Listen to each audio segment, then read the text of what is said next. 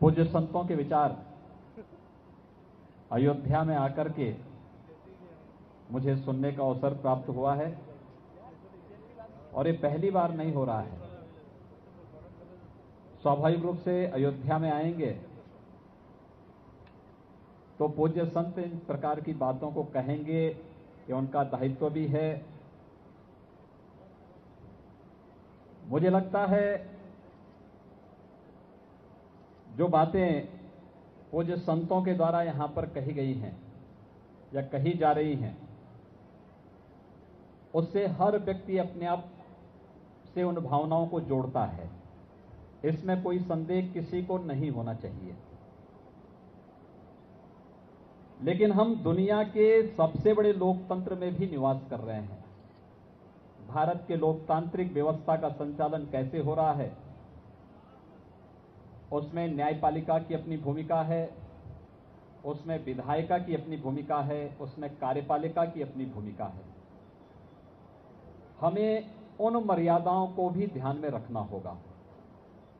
और भाइयों बहनों आप इस बात को देखिए, मुझे सबसे आश्चर्य तब लगता है, जब आज राम जन्मभूमि की बात वे लोग कहते हैं, जब जिन लोगों ने अयोध्या में राम भक्तों पर गोलियाँ चलाई थी। मुझे अच्छा लगता है कि चलिए भगवान ने जैसे भी हो उनके मुँह से अपनी जन्मभूमि की बात तो कहलवा ही दी है। एक प्रकार से यह भी हमारी ही विजय है। आज इस देश में लोकतंत्र की बात वे लोग करते हैं, जिन लोगों ने 1975 में आज ही के दिन लोकतंत्र का गला रोंदने का प्रयास किया था। इस देश के अंदर सांप्रदायिक सौहार्द की बात वे लोग करते हैं। जिन लोगों ने इस देश में सांप्रदायिक सौहार्द को सर्वाधिक नुकसान अपनी तुष्टिकरण की नीतियों के माध्यम से फैलाया है और इस देश के अंदर हम सबको नहीं भूलना चाहिए कि सामाजिक न्याय की बात भी वे लोग कहते हैं, जिन्होंने जातीय ताने बाने के आधार पर हिंदू समाज को कमज़ोर करने की किसी भी प्रकार की उस कुत्सित नीति के और षड्यंत्रों के जो हिस्से बने रहे हैं, वे लोग उस प्रकार की बातें करते हैं। लेकिन जैसे भी हो, यह सच है। अयोध्या की ही ये भावना नहीं। भारत के बहुसंख्यक समाज की ये भावनाएँ हैं और बहुसंख्यक समाज की इन भावनाओं के साथ हम सब की भी भावनाएँ हैं। कि इस समाधान का एक मार्ग निकलना ही चाहिए और निकालने के लिए इतने दिनों तक आपने धैर्य रखा है कुछ दिन और धैर्य रख लीजिए, समाधान का रास्ता अवश्य निकलेगा। अवश्य निकलेगा। लेकिन धैर्य हम लोगों को इस बात का भी रखना होगा कि जो लोग हमेशा राम जन्मभूमि आंदोलन का विरोध करते थे, जो लोग मंदिर जाने में कोताही बरतते थे, जिनको संकोच होता था आज जब उनके मुँह से सब बातें निकलती हैं तो मुझे लगता है कहीं ऐसा तो नहीं कि इसके तह में ये कोई षड्यंत्र कर रहे हो। ऐसा तो नहीं कि इसके नाम पर ये लोग कोई दूसरी साजिश रच रहे हो। और उन साजिशों से सावधान होने की आवश्यकता है कि जब एक मर्यादित तरीके से श्री राम जन्मभूमि से संबंधित विवाद पटाक्षेप की ओर जा रहा है, तब अनावश्यक रूप से जनता के बीच में माहौल खराब करके समाधान की ओर निकलने वाले किसी भी मार्ग के अवरोध के लिए इस प्रकार के वक्तव्य को देना, जिन वक्तव्यों से सामाजिक सौहार्द को तो खतरा पैदा हो ही, लेकिन साथ साथ वर्षों से, सैकड़ों वर्षों से चले आ रहे एक सामाजिक तनाव के माहौल को भी समाप्त किया जा सकता है। उस तनाव के मार्ग को रोकने की जो कुत्सित चेष्टाएँ हो रही हैं, आपने देखा होगा कांग्रेस के एक वरिष्ठ नेता ने न्यायालय में अपील लगाई कि राम जन्मभूमि मंदिर से संबंधित मामले की सुनवाई 2019 के बाद हो। और जो लोग 2019 के बाद सुनवाई की बात कर रहे हैं, वे लोग आज कहते हैं कि मंदिर क्यों नहीं बन रहा है। आपको लगता नहीं? एक तरफ़ कोर्ट में अर्जी लगाते हैं और दूसरी तरफ़ यहाँ समाधान की बात भी करते हैं। ये दोनों बात नहीं चल सकती। भाइयों बहनों, हम सबको इसको समझने का प्रयास करना होगा। और इस बात को हम कह सकते हैं। मर्यादा पुरुषोत्तम भगवान श्री राम इस अखल ब्रह्मांड के स्वामी हैं। स्वाभाविक रूप से अयोध्या में जब भगवान राम प्रभु राम की कृपा होगी तो अयोध्या में भगवान राम का भव्य मंदिर बन करके रहेगा, उसमें कोई संदेह हो ही नहीं चाहता किसी को होना ही नहीं चाहिए। फिर इसमें संदेह आपके स्तर पर और फिर इन पूज्य संतों के स्तर पर कहाँ से विवाद, कहाँ से संदेह पैदा हो जाता है? इस संदेह के लिए कोई जगह कम से कम हम लोगों के बीच में नहीं होना चाहिए, लेकिन हम उन षड्यंत्रों को समझें, जिन लोगों ने बार बार इसमें अवरोध पैदा करने का प्रयास किया। और मैं इस बात को कह रहा हूँ इसलिए आपके बीच में। पंद्रह वर्षों में कितने लोग, कितने मुख्यमंत्री अयोध्या आने का प्रयास किए? कितने लोगों ने अयोध्या में आकर के अयोध्या की समस्या का समाधान करने का प्रयास किया? या मथुरा, वृंदावन में जाकर के, या काशी में जाकर के, या चित्रकूट में जाकर के, या प्रयागराज में जाकर के इन समस्याओं के समाधान का मार्ग निकालने का प्रयास किया?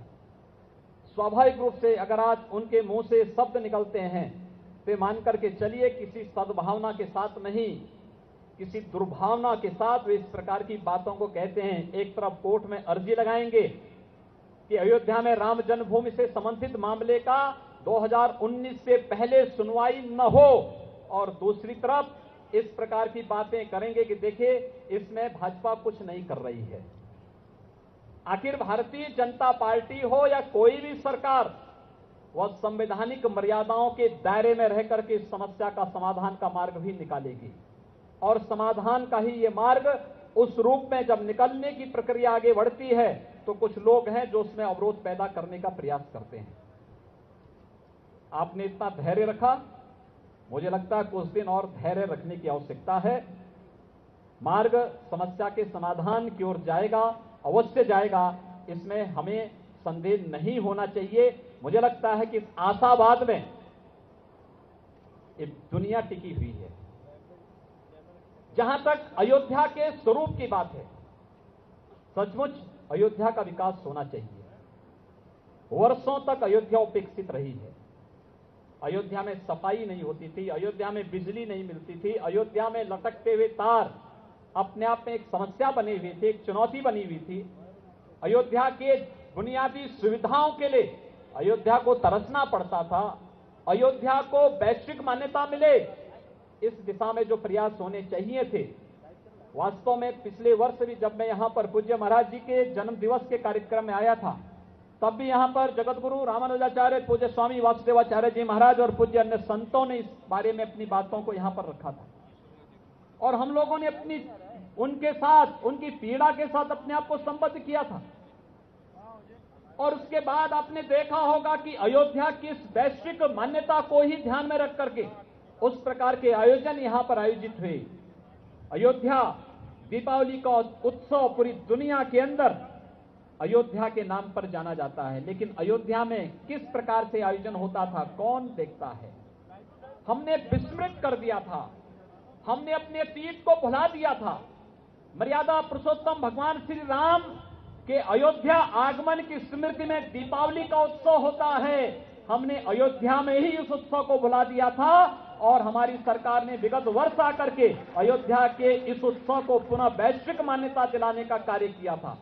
बहुत सारे लोगों को बुरा लगा। जब हम लोगों ने भगवान राम, माता सीता और लक्ष्मण जी को पुष्पक विमान से उतारने का कार्य किया, बहुत सारे लोगों ने कहा, ये सब करने की आवश्यकता क्यों थी?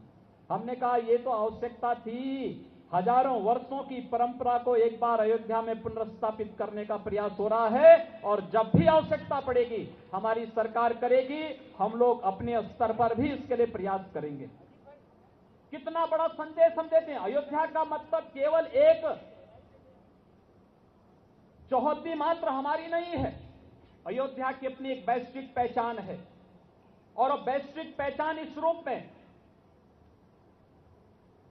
आदरणीय प्रधानमंत्री श्री नरेंद्र मोदी जी ने इस बारे में हमसे कहा कि आखिर दुनिया के अंदर जितने भी ऐसे देश हैं, जिन देशों ने अयोध्या से मर्यादा पुरुषोत्तम भगवान श्री राम से, रघुवंश की उस परंपरा से इक्ष्वाकु वंश की उस परंपरा से जिन्होंने कुछ सीखा है, जाना है, उनके बारे में जानकारी इकट्ठा करके किसी न किसी प्रकार से अयोध्या के साथ उनको जोड़ने का कार्यक्रम होना चाहिए। और भाइयों बहनों इस बार दीपोत्सव का जो कार्यक्रम होगा उस कार्यक्रम के साथ हम लोगों ने दक्षिण कोरिया को जोड़ने का, उसके राष्ट्राध्यक्ष को अयोध्या में लाने की एक योजना हम लोगों ने तैयार की है।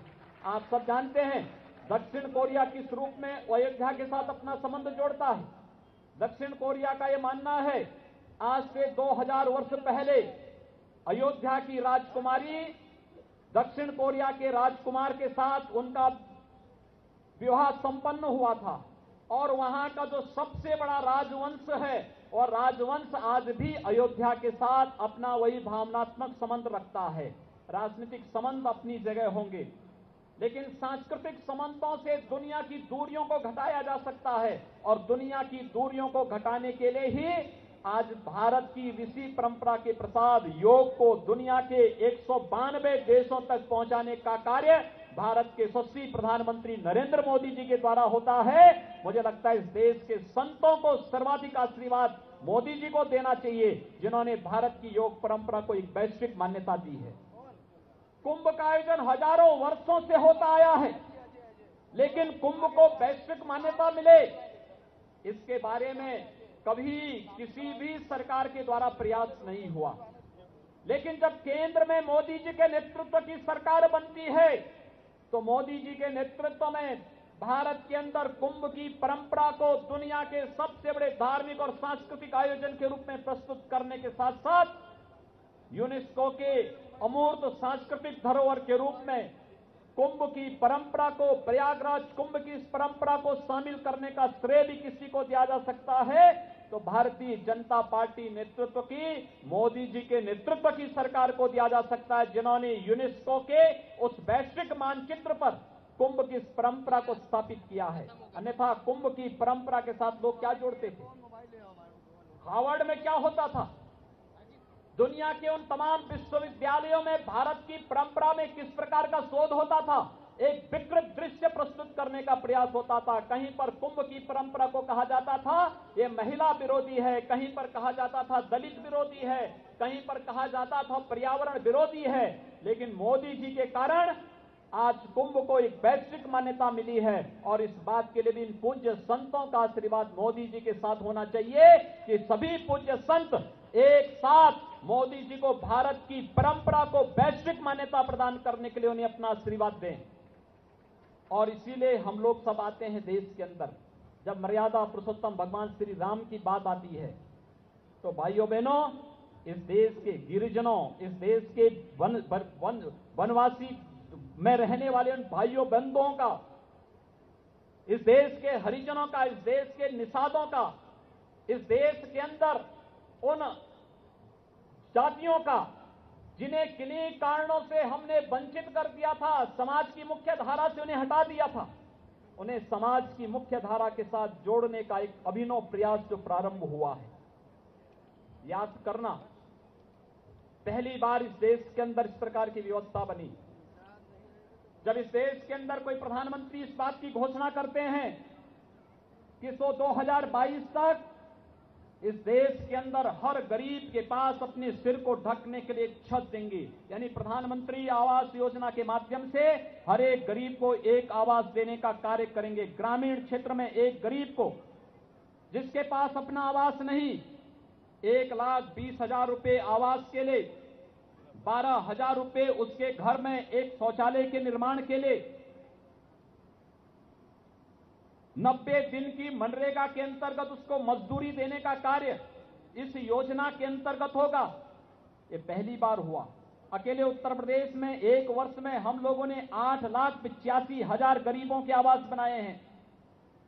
शहरी क्षेत्र में यह राशि आवास योजना में ढाई लाख रुपए शौचालय के लिए बीस हज़ार रुपये जिनके पास विद्युत कनेक्शन नहीं उन लोगों को निशुल्क विद्युत कनेक्शन देने की व्यवस्था।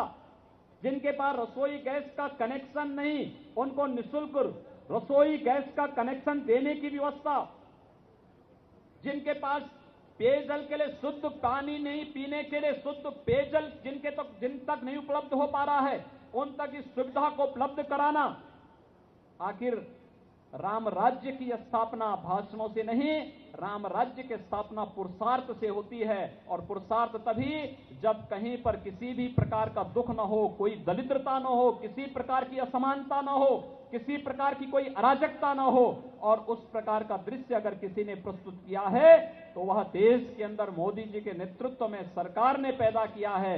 और उसी का अनुसरण करते हुए प्रदेश के अंदर उस प्रकार का कार्यक्रम हम लोगों के स्तर पर प्रारंभ हो रहा है।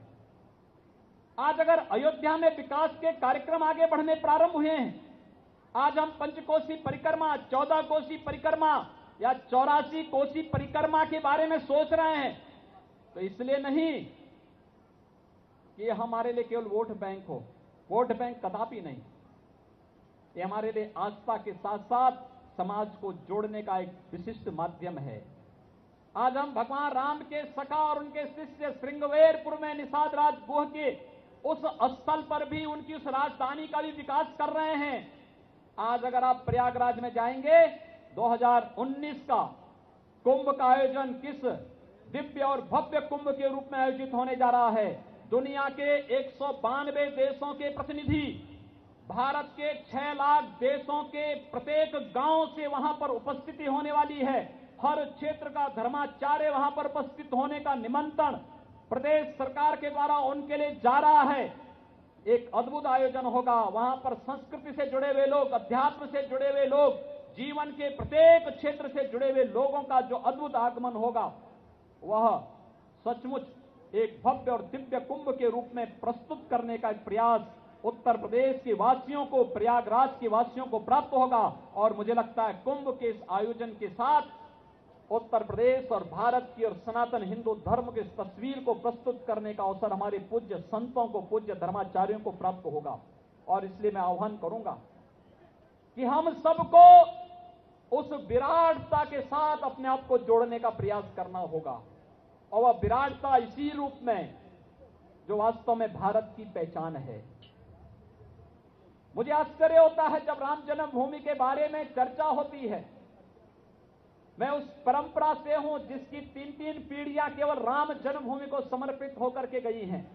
आज से नहीं 1934 से गोरखपीठ से राम जन्मभूमि आंदोलन से जुड़ी है। आज से नहीं 1934 से और 1934 से लेकर के आज भी हम उसी भावना के साथ कार्य कर रहे हैं, जिस भावना से 1934 में उस अभियान के साथ गोरखपीठ जुड़ा था, जिस भावना के साथ उन्नीस में जुड़ा था और जिस भावना के साथ उन्नीस सौ तिरासी में जुड़ा था और जिस भावना के साथ उन्नीस सौ बानवे में जुड़ा था, उसी भावना के साथ आज भी हम जुड़े हुए हैं।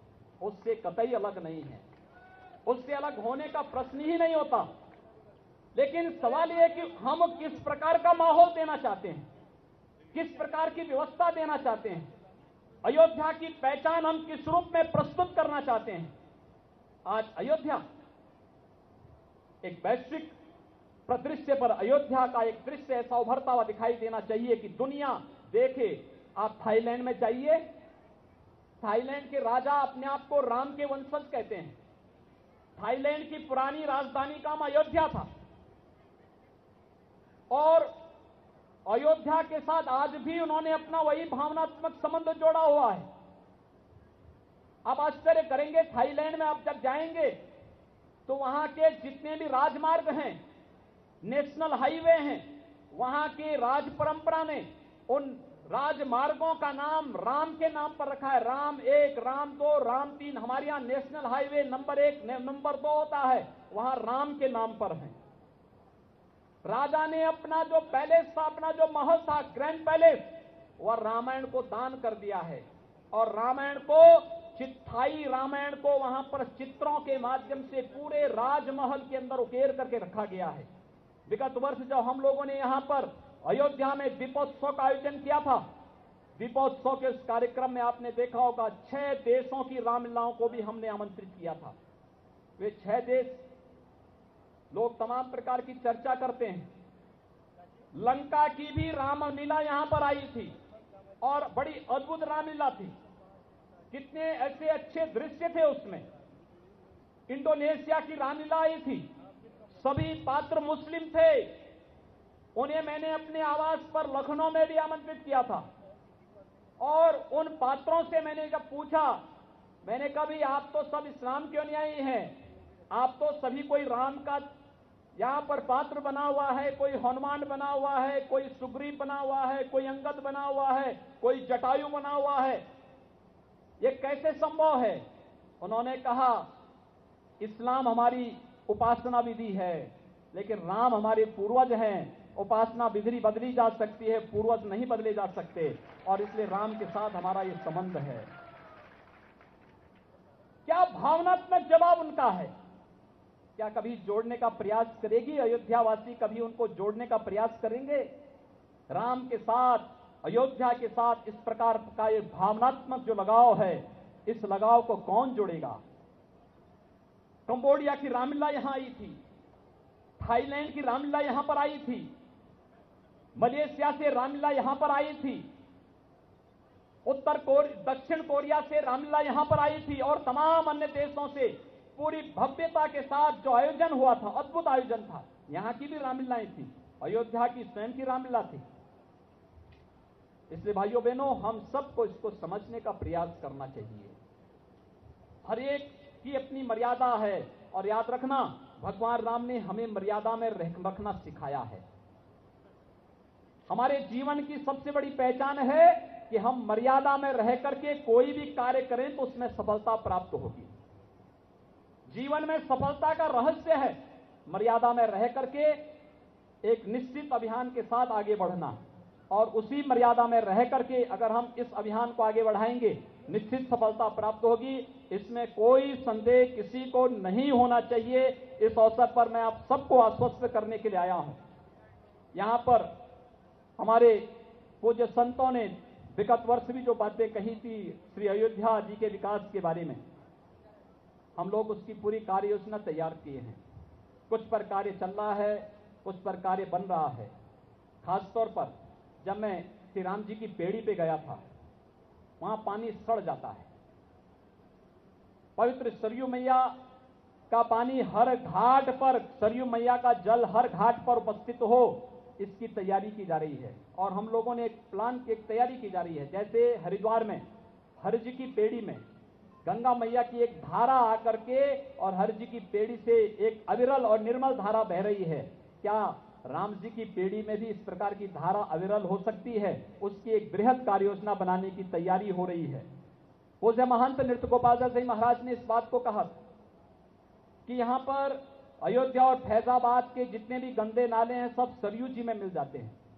उसकी पूरी कार्य योजना हम लोग बना रहे हैं। सभी नालों को हम टेप कर रहे हैं, बंद कर रहे हैं।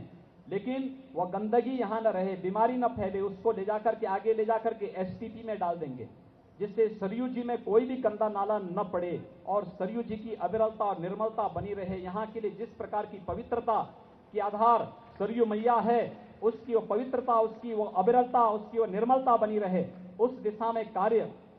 यहाँ पर रामलीला की जो अखंड रामायण, रामलीला की जो परंपरा थी, उसको लोगों ने बंद करवा दिया था। पिछली सरकारों ने बंद कराया था।